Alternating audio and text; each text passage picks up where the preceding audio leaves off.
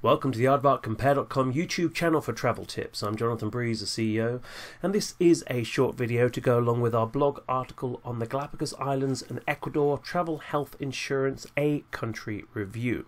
And this provides an overview from both the CDC and the US State Department, and it covers vaccines, medicines, and insurance. Now, at Aardvark Compare, we can't recommend travel insurance enough. Whether you're just traveling a few hundred miles from home to see family, traveling on business, or traveling to the other side of the world, travel insurance should be considered an essential part of your holiday packing. Now, the hope is that you won't have to use your travel insurance and that you'll have a fun and enjoyable trip.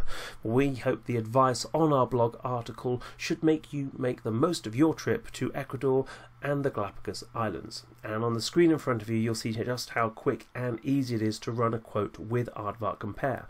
We have many of the top US travel insurers on our site offering some of their very finest plans. So whether you're traveling within the US, whether you're traveling to Europe, whether you're traveling on a cruise, we will be sure to have the best plan for your travel needs. And we do recommend at least $100,000 of medical sickness coverage and at least $100,000 of medical evacuation coverage as well.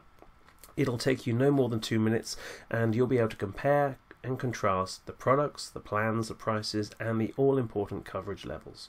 Well, whatever you're doing, wherever you're going, keep safe, enjoy, and remember to pack travel insurance. Take care and come back and see us again soon.